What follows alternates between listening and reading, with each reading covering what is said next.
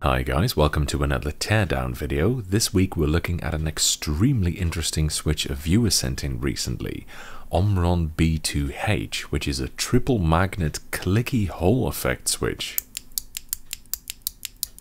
The idea behind it is absolutely unique. I've never seen anything like this before.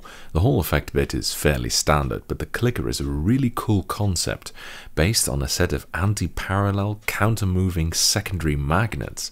More on that in a bit.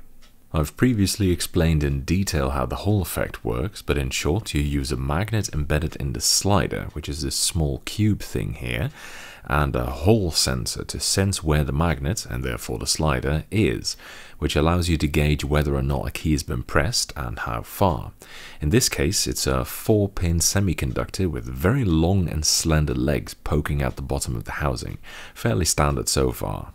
There is also a small diode in there for two more contacts and a fixing pin for a total of seven pins, which is quite a lot for a single switch. In a 101 key keyboard, that's 707 solder points just for the switches. By the way, a word of warning, these switches are held closed by four very long, slender and especially fragile plastic legs, which you have to peel away to pull the top housing off the bottom, which is almost impossible to do so without damaging them, although it is technically possible to do so without desoldering the switch at least. Anyway, I'm glad I asked for two switches, as always. So you've got one magnet in the slider and then the clicker consists of two more magnets located on the opposite side of the switch from the Hall sensor. One of the magnets is, again, embedded in the slider, and the other can move freely up and down in a track in the housing.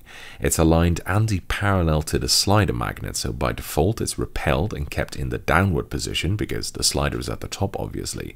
But as you push the slider down, the two magnets eventually pass each other's midpoint, and then they start to attract each other instead, which makes the clicker magnet shoot right up, and the impact of this against the housing is what produces the clicky noise. Quite ingenious. The flipping itself causes a small variation in force, which manifests itself as a small tactile bump. HaaTa actually has a force curve of these in which you can see that. It's about 10 grams in magnitude and very sharp. It's also quite far down at 3 millimeters, which leads to an interesting key feel. Somewhat uniquely, this setup leads to a contactless mechanical clicker system, which is awesome on so many levels. Think of it like this, any friction the clicker encounters during its operation is not passed onto the key travel. It also has inherent mechanical hysteresis, but not electrical, although it's trivial to arrange that using a Schmitt trigger. And of course, the flip also occurs backwards, so it clicks on the upstroke as well, although the upstroke click is a lot more subdued. Another interesting detail is that it includes rubber dampeners for suppressing switch clack in both directions, just like they later did with Alps SKCM switches. So this is a very rare example of a dampened clicky switch, another thing that makes this so unique.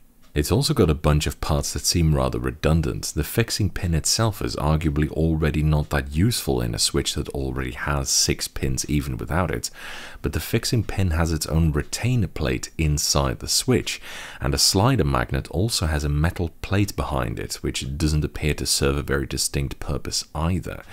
It's not exactly an exercise in simplicity, these things. Someone asked me if this was a vintage design or a modern one, but clearly it's far too innovative to be a modern Switch. It is in fact a late 70s design. It would be cool if someone picked up this idea though. I've seen one or two projects where people make Switches inspired by cool old Switch designs and do something interesting and modern with it. Tentative to be continued and hopeful semi-segue here.